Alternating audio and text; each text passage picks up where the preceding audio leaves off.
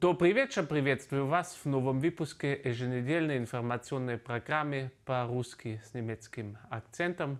У нас сегодня гость на связи в Москве, русский журналист, телеведущий канала «Дождя» Константин Экер. Приветствую вас, Константин. Приветствую, Борис. Константин, тут была такая история, я смотрел фильм в австрийском телевидении, и фильм этот был, на мой взгляд, очень такой пропагандистский, пропутинский. Там даже речь шла о том, что вот грузины в 2008 году напали на соседскую Россию, на маленький город в России, что полный бред. И я очень удивился, вас там видеть. Я сразу думал, это только может быть э, недоразумение, потому что то, что вы там говорили, очень не похоже на то, что вы обычно говорили. Там искажали то, что вы э, говорили. Как это все случилось? Э, надо сказать, что исходно этот фильм был снят э, французским э, теледокументалистом господином Карре, и э, он до этого был известен как раз как критик э, Кремля, критик э, политического режима в современной России.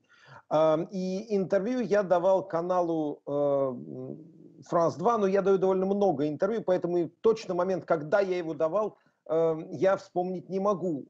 И однозначно только понимаю и помню, что говорил я о том, как Путин и Кремль воспринимают интеллигенцию.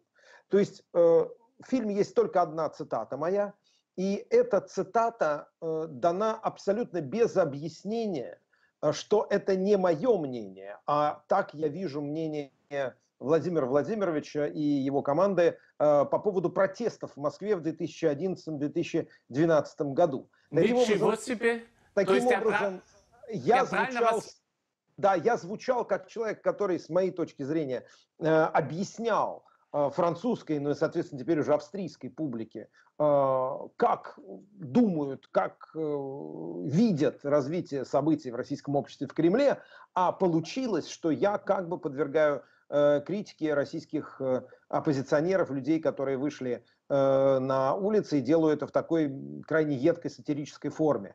Эм, я был крайне удивлен таким монтажом, который достоин скорее, там, я не знаю, современного э, Первого канала или э, так называемых расследований НТВ российской оппозиции, но вот, увы, так сложилось.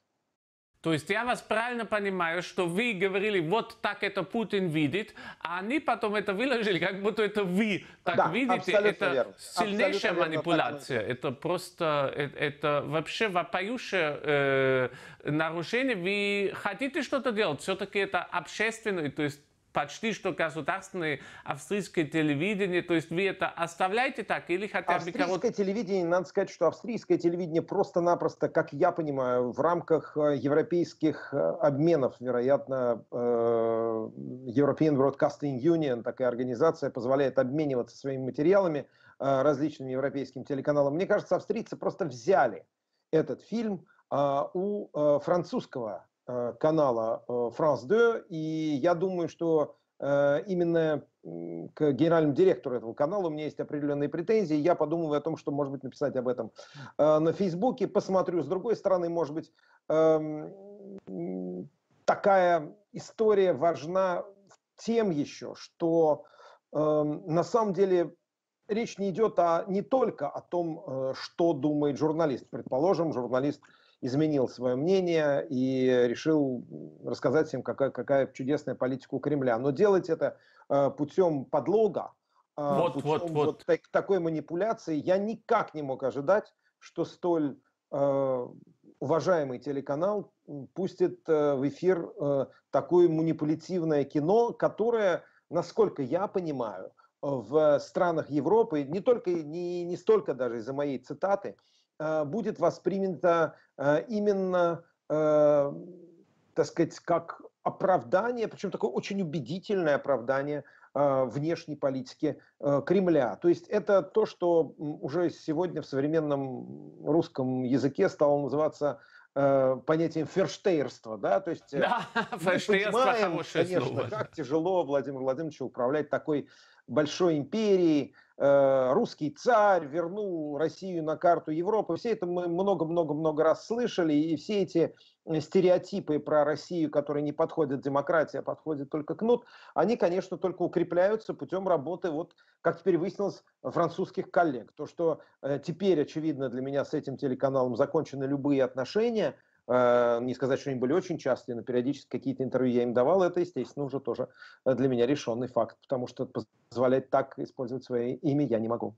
Это ужасно. А вы как раз говорили про фашдейство. Тут новый случай этого. На этой неделе наш э, немецкий министр экономики, который очень тесно связан с Герхардом Шройдером, бывшего канцлера, ныне сотрудник «Газпрома», она выступила, называла американские санкции э, нарушением международного права. И в русских СМИ я теперь читал, что там говорят, что немецкое правительство объявило санкции США незаконными.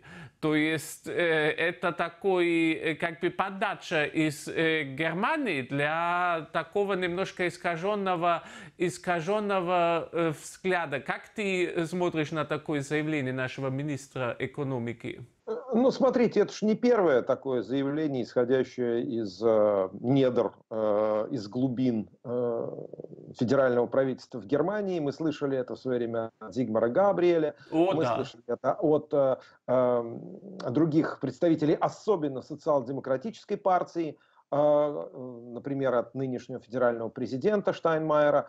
Э, наконец, э, мы слышали это от господина Зейхофера, премьера Баварии, хотя, может быть, и в меньших, э, в меньших масштабах он об этом не, не так часто об этом говорил, хотя часто ездил в Кремль, почему-то надеясь, что именно он сможет убедить э, Владимира Владимировича, так сказать, увидеть свет и истину. А, но вообще, вообще-то, так сказать, к этому привычка уже сложилась у тех в России, кто наблюдает за международной жизнью. С другой стороны, понятно, что э, все эти заявления не будут оформлены как государственная политика, пока э, этого не захочет э, весь кабинет и не захочет этого канцлер Меркель.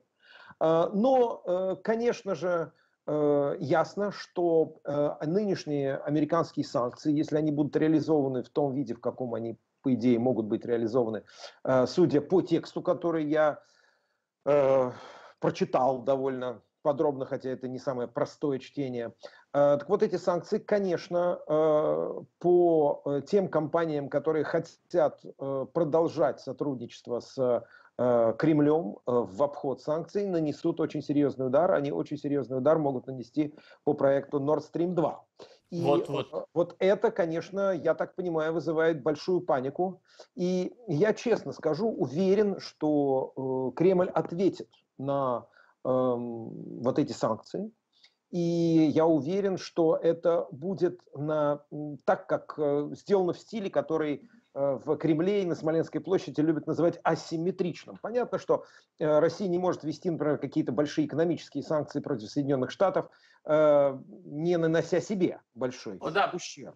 А ну, даже икрой больше всего особо и нечего при, перестать продавать. Уж не так, что русские верно. товары очень популярны в Штатах. Да, совершенно верно. Ну, можно, конечно, попытаться создать препоны для работы таких компаний, как, э, скажем, Exxon в проекте на Сахалине да. или э, Boeing, но это будет э, то, что в английском языке, в американском варианте английского особенно, называется «выстрелить себе самому в ногу», то есть себя самого и ранить. Однако, я думаю, что асимметрия, конечно, будет. И будет она сводиться далеко не только к, э, к вот, э, высылке дипломатов и, э, так сказать, блокированию американских, американской дачи там, в Москве. Я думаю, что ответ будет дан и на Украине, потому что я думаю, в конечном счете российско-украинский конфликт будет разморожен в Донбассе. Я думаю, что ответ будет даваться, возможно, в Сирии или даже в Ливии, где Россия пытается найти общий язык с э, генералом Хафтером. Но, что еще очень важно, я уверен, что сейчас огромные силы будут брошены на эм, создание антиамериканской, дополнительной антиамериканской волны в э, дружественных э, России средствах массовой информации в Европе, э, дружественные политики, будут всячески настраиваться э, для того, чтобы сказать, что вот как раз американцы все сделают крайне незаконно. И, разумеется, разного рода э, бизнес-ассоциации э, получат дополнительный импульс, дополнительные какие-то стимулы из Москвы для того, чтобы э, протестовать против э, этих американских санкций. Я уверен, что мы в ближайшее вот, даже время увидим Эм, такой возврат к традиционной, еще с брежневских времен, э, политике вбивания клина между Соединенными Штатами и Европой. скажу вам одну вещь, Борис, мне кажется, это довольно интересно. Я почти уверен, что э, очень скоро э, не только Америка как таковая, но, наверное, и Дональд Трамп э, станут очень плохими в глазах российской пропаганды. Вот до этого была какая-то определенная сдержанность, и до сих пор такая линия выдерживается, да, да. что э, Трамп-то, в общем, очень хотел бы наладить отношения, он прекрасный человек, но очень Хочет, слабый. но не может, как импотент. Да, его держат там за Баковых практически, э, там, я не знаю, ЦРУ, э, масоны и разные другие нехорошие люди.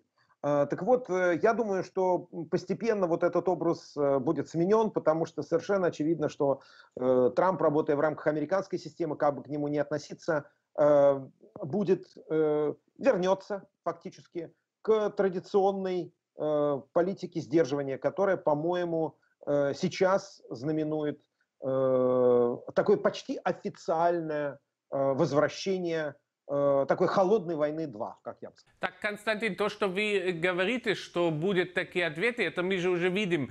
Министр экономики наш это высказывал. И более того, на этой неделе было очень удивительно. Компания Wintershall, это дочка немецкого химического предприятия BASF, она очень э, крупный э, там э, производитель э, в энергетическом секторе. И они оплатили опрос общественного мнения. На этой неделе он был опубликован. И большой заголовок, что там чуть ли не больше 80% немцев предпочитают русский газ американскому, и что они э, вообще считают, что мы э, должны в вопросах энергетики ближе сотрудничать с Россией, что полностью противоречит политике ЕС и, в принципе, официальной политике э, немецкого правительства. Так да, что я думаю, еще... это уже тот шаг, один из тех шагов, о которых вы говорили. Разумеется, ну мы, мы в России прекрасно знаем, как проводятся опросы общественного мнения э, ну, в, в, в том случае, если нужно получить конкретный результат. Известно, как можно задать вопрос. Э, вопросы задаются так, чтобы ну, подвести к определенному ответу. Э, действительно, это противоречит э, давней линии э, Европейского Союза и, собственно, федерального правительства и канцлера Меркель еще со времен, вспомним, российско-украинских энергетических, политик энергетических, конечно, кризисов э, в эпоху президента Ющенко был такой. Э, так что, э, мне кажется, это, конечно, очень манипулятивная история, и я уверен, что это будет, конечно, продолжаться в, и нарастать эта волна, особенно в странах, где существует там, серьезный тренд в пользу вот такого взаимопонимания, скажем так, с Кремлем. Мне кажется, история с компанией Siemens, которая внезапно обнаружила, что ее турбины оказались не там, где нужно, хотя О, это вообще, да. должна была, мне кажется, подозревать, что это должно произойти, по крайней мере, какой-то due diligence делать надо. Я сам работал в корпоративном секторе, скажу точно, что эм, э, так, чтобы Siemens не представлял себе, что такой вариант может быть, э, это практически невозможно. У него неплохой департамент Government Relations, который Конечно. должен посоветовать руководству компании, что такой вариант возможен. Они же не, а, помни, поэтому... они же не первый год замужем, они же Да, не первый знают, год работают почем... в России, не первый год замужем, и должны, вот эта вся потом история, э, знаете, ой, знаете, а мы не знали, мы не заметили, не понимали, что такое, где Крым, какой Крым. Это, конечно, не очень убедительно, и сейчас все эти судебные иски и так далее, это выглядит, конечно, э, попыткой э, спасти лицо. На самом деле это очень похоже на то, что разговор был приблизительно такой. Э, знаете, если у вас получится э, yeah. перевести турбины, тогда мы ни при чем. А, а если, так сказать, э, скандала не будет, э, то тогда мы там вам поможем. Но мы их продадим в любом случае. Поэтому, ну, это мое личное подозрение, я могу высказывать свое такое предположение, я не могу никак это подтвердить, но э, я бы не исключал такой версии, сформулируем так. Ну, это звучит достаточно правдоподобно. Очень интересно, что в Германии это не вызвало большого общественного резонанса, то есть как бы такого особого возмущения не было. И вообще это грустно, потому что, видать, немецкая экономика, она уже не та, за которой раньше укрепилась такая репутация, что они такие э, точные, такие честные, потому что в Германии же сейчас был громаднейший скандал насчет этих сговоров между большими американскими, немецкими э, производителями машин. Там э, они создали картель технический, и, видать, не только Э, в обращении и в бизнесе с Россией есть такие черты, что любит обманывать. Но это уже Германия. Мы давайте перейдем поближе к вам, э, в Москву. Там на этой неделе Владимир Владимирович, национальный лидер, встречался с лидером коммунистов, со Сугановым, и обещал ему, что не будет Ленина пере, э, э, э, перехоронить. Я, первая мысль у меня была, какая счастливая страна, когда там главная тема для коммунистов не как людей накормить, там цены на продовольствие, а то надо ли Ленина перехоронить или нет. Но мне очень интересно, как Путин лаврирует в этом. Да? Он с одной стороны стоит за очень такой дикий капитализм, монопольный даже, а с другой стороны вот Ленина, Ленина оставляет. То есть, а почему он сейчас именно эту тему поднял? Чтобы люди не думали о том, что холодильники все пустые, э, пуще и пуще. Э, смотрите, Борис, ну, во-первых, я бы не сказал, что в России существует дикий капитализм. В России существует дикий государственный капитализм. Это э, да.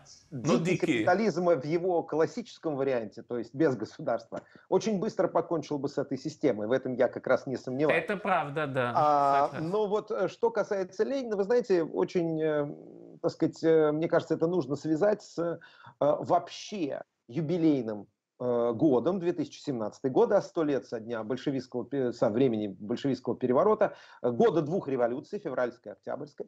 Э, так вот, надо сказать, что весь этот год все пытались как-то понять, а власть как-то выразит себя, как-то отметит это, это, этот, ну, эту, эту годовщину, которая, конечно, для какой-то части общества Э, очень носит такой, имеет позитивный характер. Э, многие люди, которые жили при Советском Союзе, считают Советский Союз своей страной, а 17-й год годом, когда эта страна родилась. Другая часть, конечно, меньшая часть общества считает, что это было чудовищно, я не скрою, принадлежу именно к ней, э, считает 17-й год, и особенно, конечно, октябрь 17 -го года, чудовищной катастрофой, которая, возможно, навсегда покончила с исторической Россией.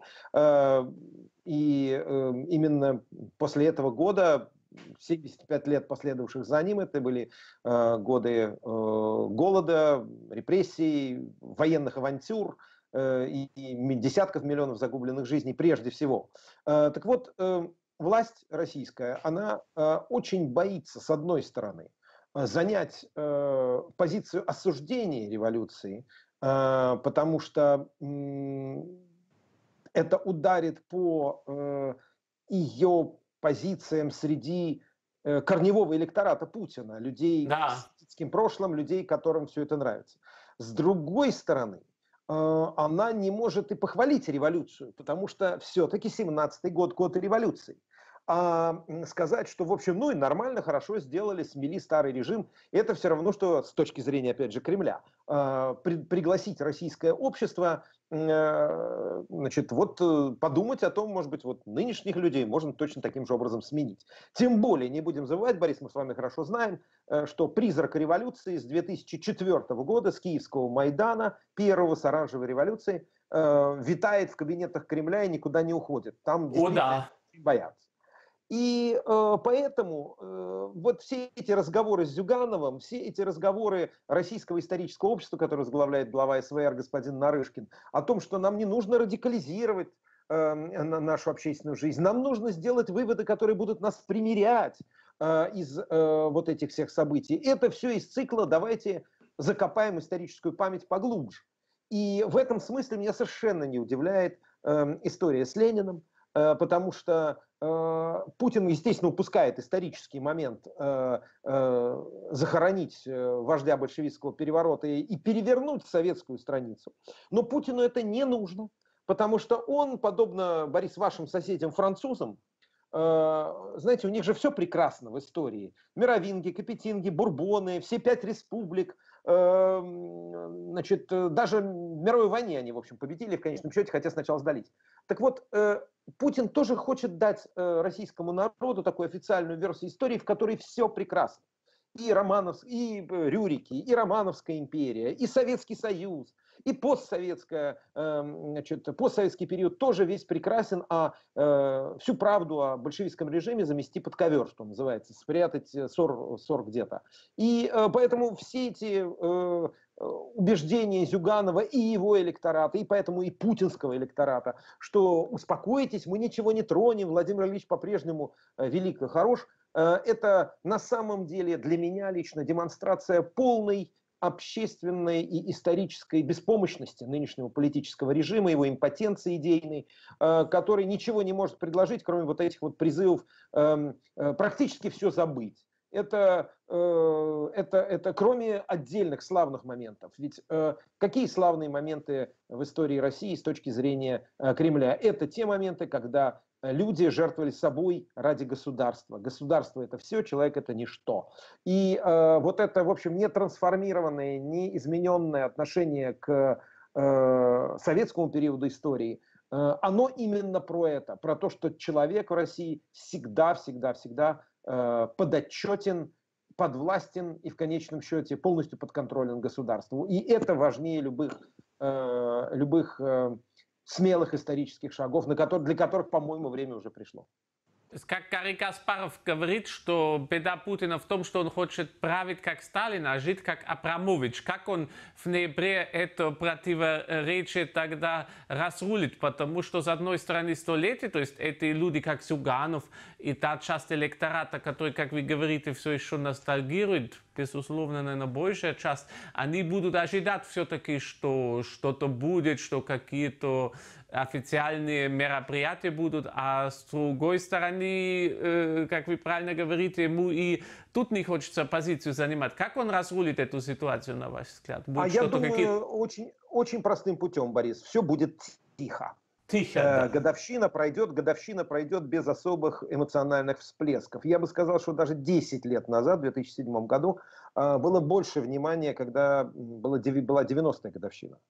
А вот, по-моему, было больше какой-то активности, даже какие-то были там документальное кино какое-то было на государственном телевидении. Э, сейчас очень мало интересных проектов, кроме проекта э, такой как бы исторической социальной сети Михаила Зыгоря. Я больше не знаю других интересных проектов, посвященных э, этому году, потому что сказать нечего на эту тему. Вытесняет. Власти. Да, вытесняет, просто идет вытеснение. Но пока этот пока э, не только 17 год, но и советский период истории э, не получил эм, продуманную общественную оценку, э, Борис, гражданская война в России на самом деле не закончена. Более того, мы видели в 2011-2012 году, возвращаясь к вот этой моей вырванной из контекста цитате в, в этом французском кино, да. с которого, разговор, с которого мы начинали. Да? Э, что случилось в 2011-2012 году? Власть э, очень быстро э, переориентировала, ну, например, российскую провинцию, э, российский рабочий класс на э, ненависть к интеллигентам, там, я не знаю, правозащитникам, в общем, всяким столичным штучкам, которые там пьют кофе латте, говорят по-английски и влюблены в Запад. Э, они не настоящий российский народ, а настоящий российский народ – это Уралвагонзавод. Разумеется, это ложь. Российский народ, он един. Но как легко вбивать этот клин, эм, как легко одну часть общества натравливают на другое, мы увидели там, когда 5-6 лет назад. И это и есть следствие э, незаконченной советской истории, это и есть следствие того, что э, Кремль не только боится, но и не хочет с этой историей э, разобраться, потому что придется дать моральную оценку ГУЛАГу, придется дать моральную оценку, грубо говоря, спецслужбистам, предшественникам нынешних правителей, поэтому э, я подозреваю, что э, нынешняя годовщина пройдет очень тихо, и шанс э, как-то заново посмотреть на последние сто лет, в том, прежде всего для меня трагические сто лет э, русской истории, э, этот шанс будет упущен. Я тут полностью согласен. Более того, я уверен, что не удастся в России строить настоящее э, э, общество, что не удастся примирить это общество, пока не будет обработана вся эта история, пока не будут обрабатывать этот ужас сталинского террора, который очень глубоко еще сидит, и где на одной стороне э, потомки жертв, а на другой стороне потомки этих палачей. И пока это все вытесняется, я думаю, это бродит и не дает этому обществу стать мирным и успокоиться. В Германии мы же это все проходили, и, и тут очень тяжело было, но мы постоянно этой темой занимаемся. Я уверен, это единственный путь. И то, что Путин делает, на мой взгляд, это как будто на рану, когда там кной, когда гноится рана, он эту рану просто э, старается сверху закрывать и не обратить внимания на этот ной. Я считаю, это трагической ошибкой. Я считаю, что это гибельно для России. Увы, наше время уже подходит к концу. Спасибо огромное, Константин, что вы были сегодня с вами. Я напоминаю вас, вы смотрели передачу по-русски с немецким акцентом. У нас сегодня на прямой линии московские журналисты, телеведущие телеканала «Дождь» Константин Эгерт. Спасибо большое, Константин. Спасибо, Борис, всегда рад. Спасибо вам, нашим зрителям. Я напоминаю вас, что вы передачу можете смотреть не только по субботам в 20 часов 30 минут, но и на сайте телеканала РТВД, на сайте www.rtvd.de, на сайте канала в Фейсбуке и на Ютубе. Спасибо, всего доброго. До новых встреч в эфире.